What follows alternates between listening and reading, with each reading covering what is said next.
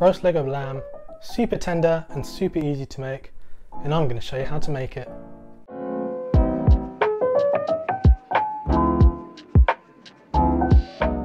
So to start off, you want to take your leg of lamb out of the fridge, just to get it to room temperature. You want to do that for around 30 to 60 minutes. This will just help it cook evenly in the oven. Now I want to start off with a simple spice mix for this lamb, just to give it a bit of flavour. Start off by adding 4 teaspoons of garam masala into a bowl, along with 2 teaspoons of turmeric powder, 1 teaspoon of chili powder, 2 teaspoons of coriander powder, 2 teaspoons of cumin powder, and 1 teaspoon of dried oregano. And whisk it all together and set aside for later. Now the lamb's come to room temperature, you want to get a small knife and just poke some holes for it. You don't want these holes too big, but you don't want them too small as well. Then drizzle the lamb in some olive oil, give it a good rub, like you're rubbing your hands in antibacterial gel. Then sprinkle over the spice mix, rubbing it in very well, making sure the whole lamb is coated in it. Then season with salt and pepper on both sides, always making sure to rub all that seasoning into the meat. Then get some fresh rosemary, placing it into the holes that we made earlier. This will help the lamb become even more flavourful. Then roughly slice one red onion and one white onion, two carrots and two celery sticks. Then get a roasting dish and add in your vegetables. Drizzle over with some olive oil and season with salt and pepper.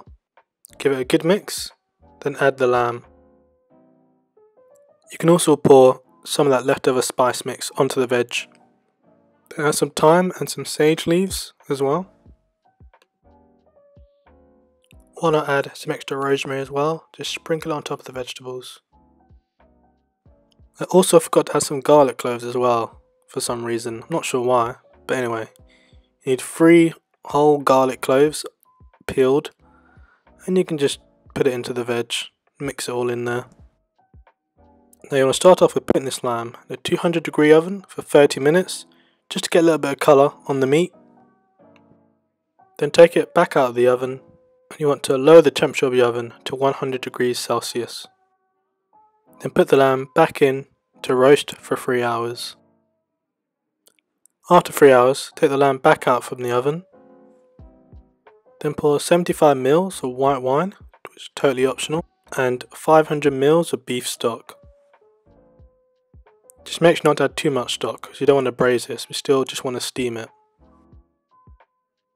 Then cover the lamb with foil and place back in the oven for another 3 hours until the lamb is lovely and tender. After the 3 hours, take the lamb back out of the oven, remove the foil from the tray, then cover the lamb leg in foil and take out the tray and leave to rest for 30 minutes.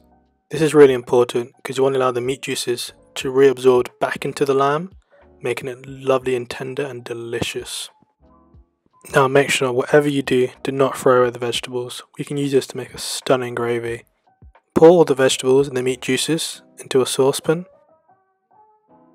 and allow to simmer for 5 to 10 minutes, stirring occasionally.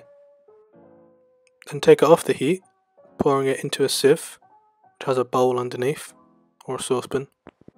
Then start to scrape the vegetables down until it turns into like a puree trying to push as much of the veg as you can through the sieve. Also make sure to scrape all the veg hanging on the bottom of the sieve. Then throw away the veg that didn't make it through. Then place the strained gravy back on the heat to simmer. Now I added a cornflour slurry, which you don't really have to add because it made it a bit too thick, but it's just 1 teaspoon of cornflour and 1 teaspoon of water just mixed together. This will make the gravy thicker but mine made it too thick, so you don't really have to add it, just don't copy my mistake.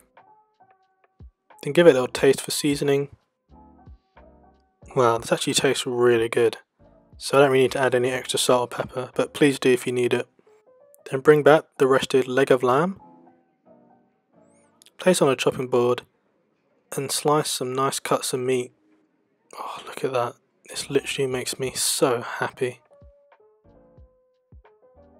Then sit back and relax and pour your meaty gravy over your tender pieces of lamb and enjoy.